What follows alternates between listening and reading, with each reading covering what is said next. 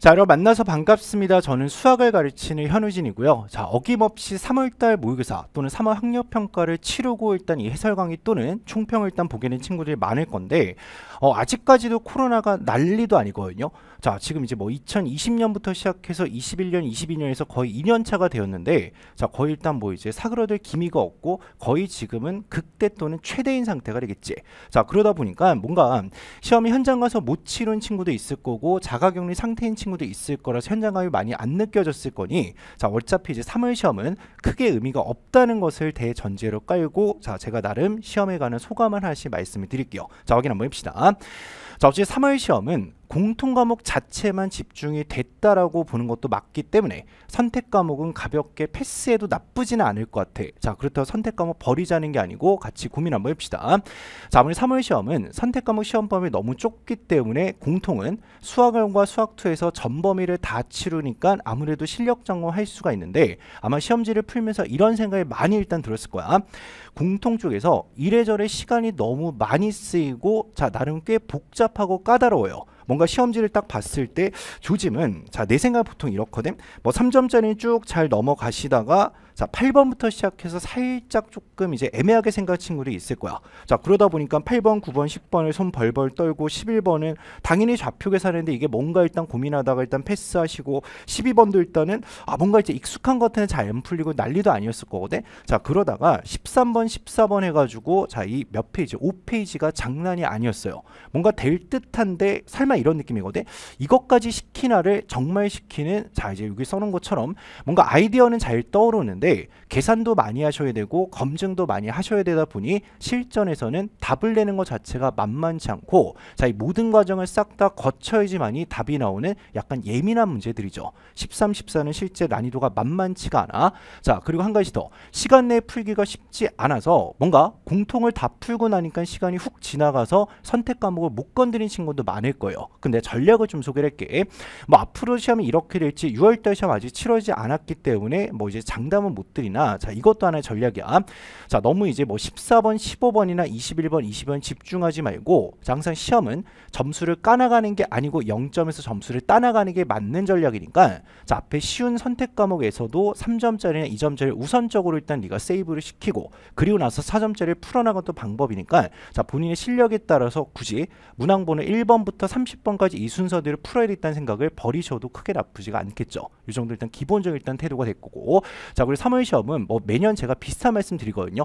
시험 자체는 큰 의미를 두지 말고 내가 뭘 잘 알고 뭐가 내가 잘 모르는지 자 뭐가 내가 부족한지 자 내가 해석하는 능력이 부족한지 아니면 계산하는 게 부족한지 등등을 점검하는 기회로 삼는 게 맞지 않을까. 자 뭐 다른 과목까지는 아직은 못 챙기겠지만 자 특히나 수학 같은 경우는 매번 3월 시험은 약간 좀 변칙이 있거든요. 뭐 작년도 그랬고 재작년도 그랬어. 자 문제가 뭐 좋을 때도 있고 안 좋을 때도 있고 뭐 지금 와서 문제가 좋다 안 좋다 평가하는 것보다는 자 본인이 시험을 보면서 아 내가 이 부분이 부족하다는 것을 본인 스스로 너무나 잘 느꼈을 거니까 충격 요법으로 쓰는 게 훨씬 더 맞지 않나 싶죠 자 이 정도 일단 말씀드리고 자 결론을 좀 말씀드리면 3월 달 시험은 큰 의미가 없으니까 오늘 잘 봤다고 또 이제 막 또 power shoulder 이러고 다니시면 안 되고 오늘 못 봤다고 아 또 염병할 나의 인생은 또 어디로 가는 것이며 나는 어떻게 되는 것이며 그럴 필요가 전혀 없다는 거야 전혀 없으니까 신경 쓰지 마시고 자 우리 공통 시험부터 한 가지 좀 보면서 일단 갑시다.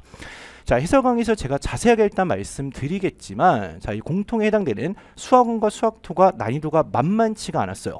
그러니까 나의 소감을 좀 말씀드리면 만약에 자 이 문제가 뭐 드릴 문제였거나 아니면 그냥 엔제 일단 한 문제였다고 치면 문제 하나씩은 참 괜찮은데 이걸 이렇게 일단 다 모아놓으니까 아 이게 만만치가 않거든? 자 먼저 13번부터 일단 같이 한번 봅시다.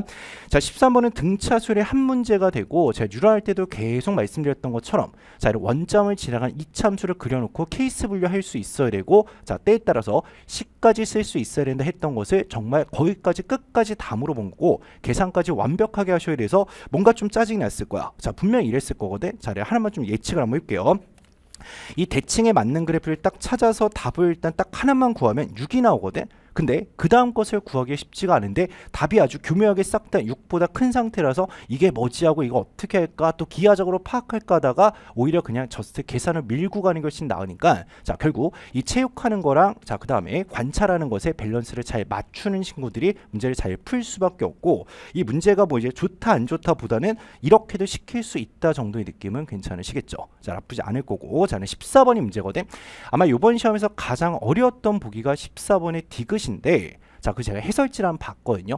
뭔가 니은을 이용해서 디귿을 풀어나가는데 뭐 그런 흐름도 일단 나쁘지는 않을 것 같아. 근데 제가 이제 이따 해설을 일단 해드릴 때는 디귿만 단독으로 일단 제가 문제를 풀어드릴 거고 디귿 자체로도 이 문제는 나쁘지 않다라고 보는데 아무래도 좀 보기가 좀 조악하거든.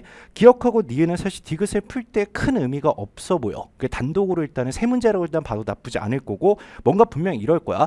존재한다고 하면 무조건 참이다라는 또 이제 어디서 이상한 얘기를 들었는데 그건 작년 수능에서도 아니 었잖아. 자 무조건 존재한다고 참이다. 그럼 수학에서 그런 게 없기 때문에 네가 검증을 하셔야 되고 분명히 자 이 문제도 이제 여러 가지 일단 고민했을 거야.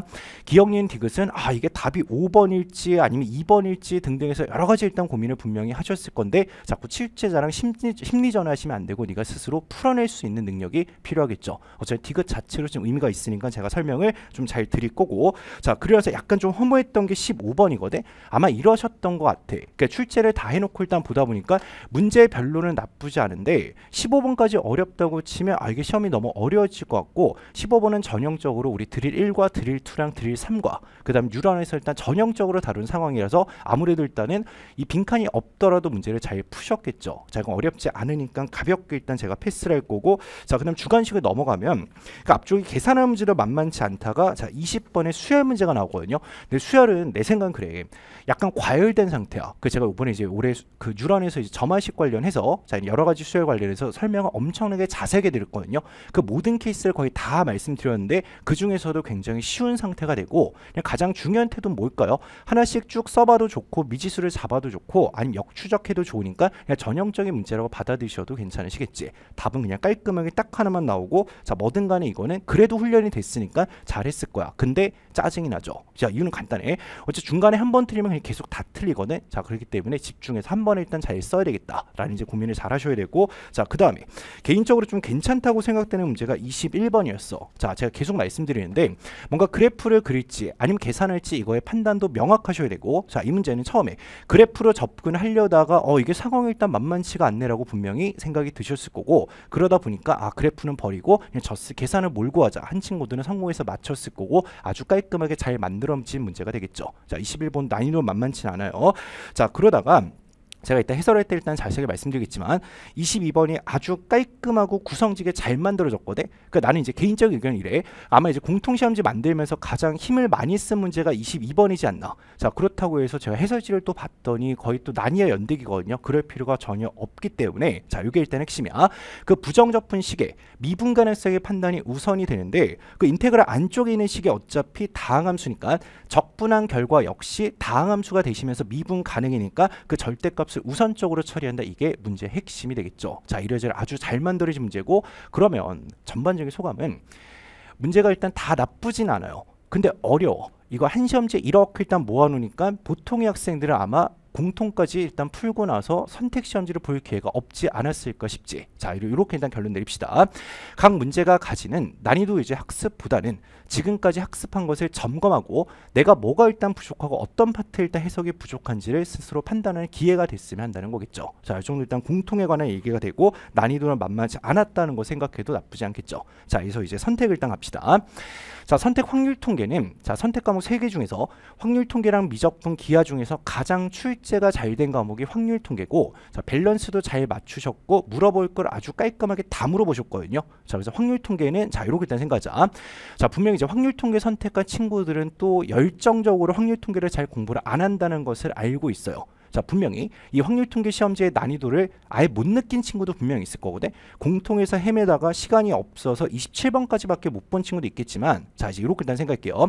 6월달이건 9월달이건 수능 시험에 관해 자 특히나 확통 친구들은 이게 시험이 어떻게 나올지는 모르지만 기본적으로 확률 통계는 시험에 나오면 무조건 어렵게 느껴지니까 정말 다분히 연습을 많이 하셔야 돼. 많이 하시는 거 잊지 마시고 자 28번도 마찬가지고 29번 30번 아주 깔끔하게 잘 만들어진 문제니 자 제가 해설 강의 잘 해놨거든요. 자 잘 확인하면서 아 이렇게 일단 풀 수 있건 느껴주시고 가장 현실감 있게 푸는 게 좋은 능력이 되겠죠. 그럼 내가 또 걱정되고 또 확통 친구야 분명히 또 공부를 안 해요. 근데 이들의 일단 고민도 이해는 되거든. 뭔가 내가 공통을 살려야 될지 아니면 선택을 살려야 될지 고민이 많겠지만 자 결국엔 둘 다다 살리셔야 되고 그 작년에도 이제 그 문과계열 입시한 거 보면 수학을 잘 본 친구들은 다른 과목을 잘 못 받아도 심지어 영어가 2등급이라도 서울대에 갈 수 있는 그런 매직이 일단 발생하니까 이 확률 통계 선택에서 공통을 담아줬다는 거 엄청난 거니까 이래저래 일단 열심히 좀 공부를 하셔야 되겠지. 자, 어쨌든 문제는 일단 깔끔하게 좋았다는 거.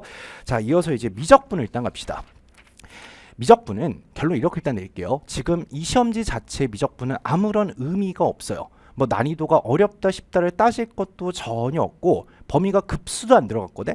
그냥 수열의 극한 앞부분이니까 원래 그 수열의 극한이 예전에는 나형 시험이 있던 거라서 그냥 just 계산밖에 안 되고 기본적인 개념의 확인인데 자 제가 총평에도 이렇게 일단 말씀드렸던 것 같아.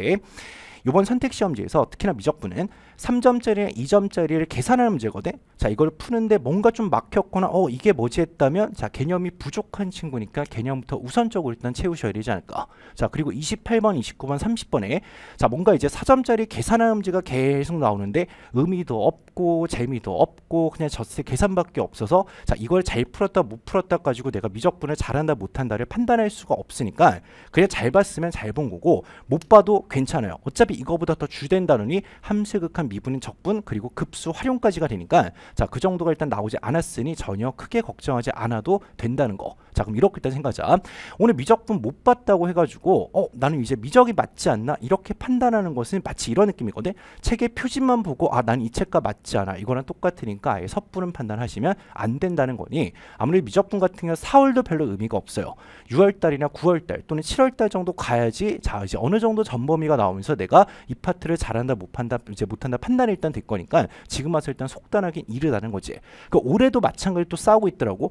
미적할까요? 기하할까요? 뭐 작년에는 뭐가 유리했는데 없어요. 그냥 본인이 일단 선택 잘해서 다 맞출 수 있는 과목이 훨씬 더 중요하고 자 선택 과목도 중요하지만 그 이전에 공통을 깔끔하게 다 맞추는 게 훨씬 더 중요하다는 것은 너무나 잘 알고 있으시겠지. 자 어쨌거나 올해 미적분 특히나 3월 미적분은 별 의미가 없으니까 그냥 패스해도 일단 나쁘지 않겠죠. 자 나쁘지 않을 거고 자 그다음 이제 기하로 일단 넘어갑시다.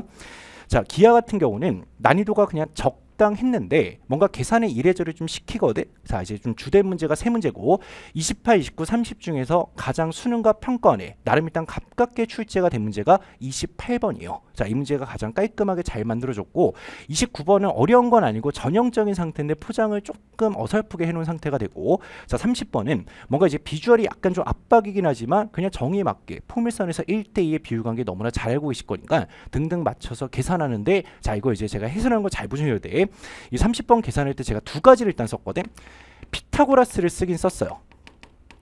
자, 근데 제가 노비할 때도 계속 말씀드렸던 게 피타고라스의 수정들은 어느 정도 일단 기억하는 거 나쁘지 않고 아니면 자, 뭔가 계산하는 게 일단 부담스럽다고 치면 당연히 좌표까지 활용할 수 있다. 자, 이 정도를 일단 다 보시면서 일단 가줄 시험장에서는 한 가지 방법으로 안 될 수 있으니 항상 두 가지 정도 일단 챙겨놓고 일단 가셔야 되지 않을까. 자, 난이도는 전반적으로 중 정도 되니까 많이 어렵진 않지. 근데 이것도 마찬가지야. 지금 이제 요 기아 시험집 가지고 아, 나가 기아를 잘하네, 기아에 맞네 안 맞네를 따지기에는 안 나온 게 너무 많거든. 2차 곡선에 접선도 안 나왔고 벡터도 안 나왔고 공간도는 당연히 일단 안 나왔으니까 자, 전반적으로 본인의 상황을 따지기에는 약간 좀 함량이 부족하다는 거지. 자, 그래서 그냥 이렇게 일단 결론 내리자. 뭐 네가 어떤 선택을 했던 간에 자, 확률 통계 제외하고는 자, 공통까지만 의미가 있다라고 생각하면서 본인이 부족하고 부족하지 않은 것을 판단하는 게 중요한 능력이 되신다는 거. 자, 좀 일단 보면서 마무리 일단 하면서 일단 갑시다. 자, 매년 일단 말씀드리는데 3월 때 시험은 나는 아예 신경도 안 쓰거든요. 너네 잘 생각해봐. 내 지금 강사 생활 10몇 년 하면서 3월 대비 모의고사 이런 거 내본 적은 단 한 번도 없거든요. 이유는 간단해. 이 시험 자체에 크게 집중을 할 필요가 없어요. 그럼 잘 생각해봐. 이 수능 공부를 분명 이제 대부분의 이제 고3들은 예비 고3들은 이제 12월 말부터 그냥 이제 퉁쳐서 1월이라고 생각하자. 지금 공부한 지 얼마 안 됐거든요. 1월이 되고 2월이고 지금 3월이야. 근데 뭐 3월 달에 계약하고 나서 지금 뭐 공부를 일단 많이도 했겠다. 자, 별로 시간이 일단 안 됐기 때문에 뭔가 압축적으로 배워나간 이 과정에서 다지기까지 일단 된 친구는 재수 이상 말고는 잘은 없을 거야. 근데 아무래도 학력 평가기 때문에 고3을 타겟으로 일단 내기는 하셨겠지만 자, 그런 상관없이 3월 시험은 별 의미가 없다는 거. 매년 뭐 질문하는 거 똑같거든요. 요즘에 이런 질문 많이 안 하기는 하지만 그래도 뭐 3월 달 시험이 수능까지 가나요는 그럴 수도 있고 아닐 수도 있죠. 근데 어차피 시험의 전반적인 스타일 자체, 그 시험 범위도 마찬가지고 실제 시험과 너무 다르기 때문에 자, 그냥 학력 평가를 일단 보시고 자, 그럼 수학 시험 한정식 이렇게 일단 생각하자. 오늘 본 시험지는 그냥 N제라고 생각하면서 한 문제 한 문제 뜯으면서 본인이 뭐가 부족한지 아닌지를 따져보는 그 기회가 훨씬 더 낫지 않을까 싶어요. 자, 시험지를 전체를 보면서 아, 내가 왜 이만큼을 컨트롤 못했나 하기에는 약간 시험지가 너무 빡빡하게 구성이 되었으니 자, 크게 신경 쓰지 않아도 일단 좋을 것 같고 그리고 두 번째, 3월 시험으로 선택 과목을 바꾸는 어리석은 행동은 안 하는 게 맞지 않을까 싶어. 아마 학교에서도 분명히 분위기가 이랬을 거거든. 공통을 풀고 나니까 선택까지 갈 시간조차 없어서 아, 내가 이거 어떻게 하는 분명히 일단 고민이 많았을 건데 자, 어쨌거나 나름 일단 교훈이 있을 거니까 그 정도 일단 보는 게 맞지. 뭐 이것 가지고 뭐 내가 이제 기아가 맞네, 뭐 확통이 맞네, 미적이 맞네 따지기에는 너무 함량이 부족한 시험이었다는 거. 자, 그래서 일단 계속 반복되는 얘기 드리는 거고. 자, 어쨌거나 중요한 시험은 6월달 시험이죠. 자, 지금 이제 시기를 좀 말씀드릴게요. 거의 이제 3월 말이고 이제 뭐 다음 주 지나면 이제 4월이 일단 되는데 자, 여전히 시간이 많이 남았으니까 너무 조급해하지 말자는 거야. 그러니까 애들이 좀 이제 불만이 아니고 이제 좀 힘드니까 계속 얘기하는 것 중에 하나는 자, 좀 시기를 일단 봅시다. 지금 3월이거든요. 제 기준에서는 어차피 이제 오늘 그 드릴 관련된 수학투랑 확률 통계가 개강하면서 완강이 일단 된 상태니까 뭔가 이제 남들이 드릴을 하니까 아 나도 드릴 해야 되나 이런 불안감이 있는데 전혀 그럴 필요가 없다는 거. 내가 계속 말씀드리지만 내가 빨리 가는 것은 자 나는 여러 명을 커버해야 되니까 진도가 느린 친구도 있을 거고 이미 일단 끝난 친구도 있을 거고 아니면 자 뭔가 이제 다지는 친구도 있을 거니까 여러 명을 커버하기 위해서는 나는 빨리 갈 수밖에 없어요. 근데 내가 가는 거에 대해서 막 부담스러워하고 막 그렇게 일단 느끼지 말고 본인이 이제 실력과 본인의 일단 역량을 스스로 일단 잘 알고 있을 거니 자 그냥 본인 능력에 맞춰서 일단 가는 게 맞지 않나. 내가 가는 거 보면 너무 당황하시면 안 되고. 자 그래서 시간이 많이 남았던 거 말씀드릴게요. 오늘 시험 뭐잘 보건 못 보건 아무 상관없어. 잘 봤다고 막 또 이제 막 뽕에 차서 이러지 말고 못 봤다고 의기소지 말고 자 그다음 남은 시험은 6월달이니까 6월달에 최대한 집중하는 태도가 훨씬 더 좋겠죠. 자 이제 시기를 한번 봅시다. 3월달 다 갔다고 치고 4월 있고 5월 있고 자 그다음 6월이 있는데 6월 초에 어차피 6월 달 시험이니까 자 너네한테 풀로 뭐 중간고사도 일단 있고 기말고사도 있겠지만 다 두 달 정도 남았거든요. 자 이걸 맞춰서 6월 달 시험에 전력 질주하는 게 맞지 않을까 싶죠. 뭐 중간에 4월 달 시험 볼또 기분이 한번 좋을 수도 있고 나쁠 수 있으나 자 그런 상관없이 평가 시험을 잘 보는 게 훨씬 더 중요하니까 자 남은 기간에 대해서 너무 조바심 내지 말고 아직 많이 남았다는 것을 제가 강조를 좀 드리고 싶네요. 자 이 정도 말씀드리고요. 자 이제 이 정도 일단 해서 마무리를 할 건데 내가 이제 3월 달 시험 관련해서는 특히나 별로 할 말이 없어. 자 이유는 뭐 이제 문제가 뭐 이렇고 저렇고 일단 다 떠나서 시험 자체 의미를 너무 일단 두 개도 그렇고 안 두 개도 일단 그러니까 자 오늘 본 시험지는 아 그냥 괜찮은 문제가 나온 N제 일부라고 생각하는 게 맞지 않을까? 자 그리고 제발 겸손하게 일단 공부하시고 자 계속 말씀드리지만 뭐 뉴런이건 시발점이건 수분감이건 몇 번을 돌리는 게 중요한 게 아니에요. 자 계속 보면서 본인이 모르는 것을 공부하는 게 훨씬 더 중요하거든 근데 대부분의 고3들은 이제 다들 이제 다 같이 공부를 하니까 아 이제 뭐 내가 공부한다는 그 행위 자체에 일단 너무 집중을 하는데 원래 공부의 70%는 네가 모르는 걸 해야 되고 진도가 빨리 나갈 필요는 없어. 네가 몰랐던 것을 정확하게 알면서 시간을 쓰는 것은 굉장히 진귀한 시간이고 아는 것만 계속 보면 시간 보내는 것은 자 너는 기계가 아니니까 굳이 그럴 필요가 없다는 거겠지. 그래서 밸런스를 잘 맞춰야 돼요. 모르는 걸 7 정도, 아는 것을 2 정도, 그리고 너무나 잘하는 거1 정도에서 자 밸런스 맞추는 게 맞고 그래야지 원동력이 돼서 공부를 할 수가 있지 않을까. 이 정도 나쁘지 않을 것 같고요. 자 그러면 뭐 제가 다른 과목 상황까지 모르겠으나 자 시험 보느라 너무 수고 많이 하셨고 자 어쨌거나 만만치 않았다는 걸 느꼈을 거야. 자 그럼 요렇게 일단 생각. 하자. 오늘 시험 결과 어떤지 뭐 이제 사람마다 다르겠지만 자, 시험을 잘 봤다고 해서 너무 우쭐할 필요도 없고 못 봤다고 해서 너무 의기소침할 필요 없으니 자, 본인 상황에 맞춰서 6월달 시험을 1차적으로 잘 본 생각하는 게 맞지 않을까. 자, 그 정도 일단 말씀드리고 자, 뭐든 간에 오늘은 쉬세요. 그게 낫지 않을까 싶어. 자, 이 정도 말씀드리고요. 자, 저는 이제 해설 강의 다시 해야 되니까 자, 이제 다음에 또다시 일단 6월달 시험 때 보도록 합시다. 자, 여기까지 해서 정리하도록 할게요.